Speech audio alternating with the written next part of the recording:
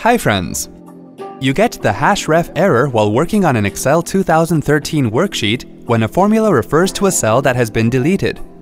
Here's how you get this formula error and how you can resolve it. Open Excel 2013 and then open a sheet.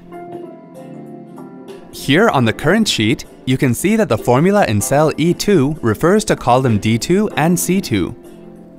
Now if you delete either of the cells referred to in the formula,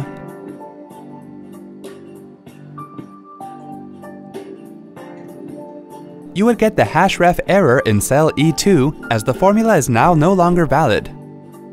In this case, we would get rid of this error by using the undo command immediately after deleting the cell to get it back as Excel keeps track of only 16 undo levels. See, now the hashref error is no more being displayed in cell E2. Remember that if you have saved and closed an Excel sheet having this error, you cannot fix the hashref error by the undo command.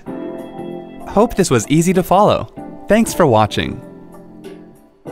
To check out more related tech videos, click here.